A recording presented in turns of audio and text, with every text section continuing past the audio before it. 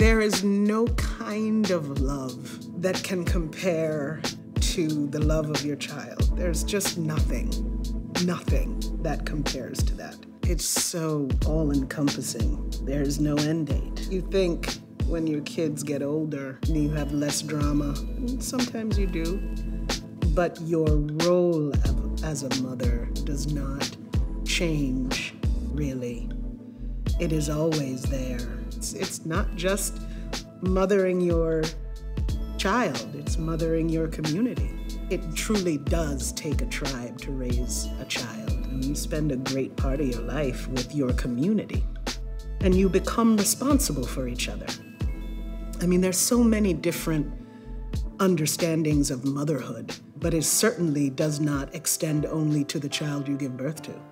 Cissy gets an opportunity to do a scene with Leon, and simply, I'm cornrowing his hair. He's in a predicament. Cissy steps in to assist in the way that she does. And it just turns into a pool of love, of pain, of compassion. Simple.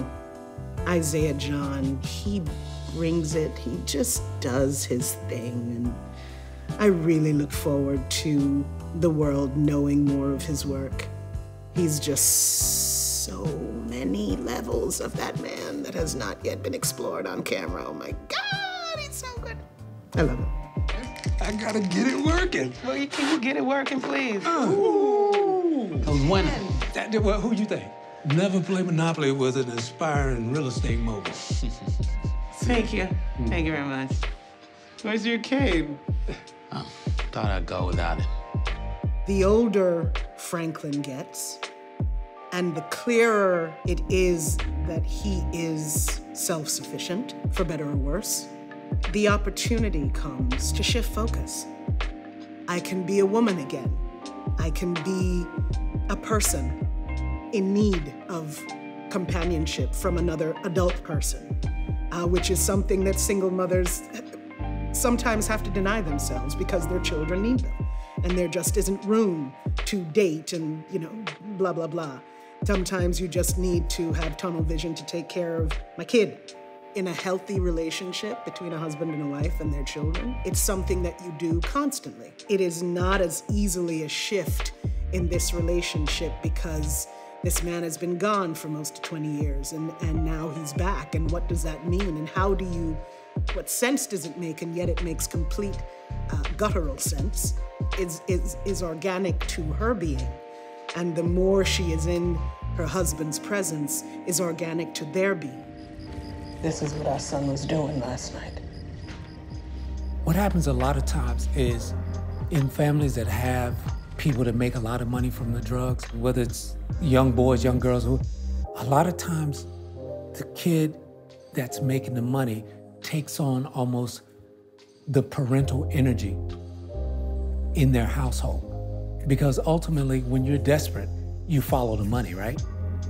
So we're watching Alton trying to guide Franklin in Franklin's understanding of power now. You know, Dave does such a great job at the energy ebbing and flowing, scene to scene, show to show. Our writers, they give us great situations there was a moment we had at the end of season two when Franklin says to Alton, Oh, you're trying to be a father now? There's a scene in this season that if that were a coin and that was the heads, then this is the tails to that scene because it crystallized for me in a way that Alton being a father to save his son from committing a murder and how he goes about it because he doesn't preach. It's not about preaching, it's about reconnecting. He attempts to reconnect in the moment that he knows his son is to murder somebody. I think that's great. It's a rich moment.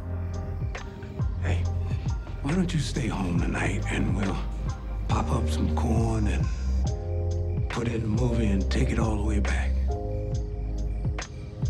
Just me and you, old school night. spend a little time with your old man? Huh? What do you say?